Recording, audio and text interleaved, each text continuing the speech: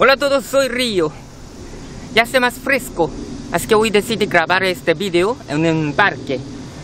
En este video compartiré con ustedes un ejercicio tan fácil y sencillo, e incluso una compresión para reforzar y rejuvenecer nuestros riñones.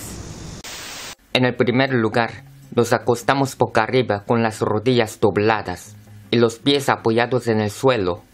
En este caso tenemos que acercar los pies y piernas hacia las nalgas lo más posible para obtener mejores efectos del ejercicio.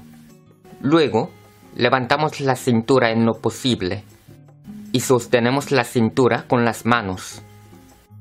Mantenemos esta postura durante 10 a 20 segundos y volvemos a la posición inicial. Repetimos este movimiento 10 veces en total.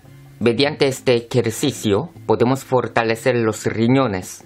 Además podemos levantar los glúteos caídos debido al envejecimiento, fortaleciendo los músculos de los glúteos. Una cosa importante, cuando sostenemos la cintura con las manos, las partes donde los dedos pulgares se colocan son los puntos de acupresión relacionados con la salud de los riñones ya que en el interior de estos dos puntos se localizan los riñones.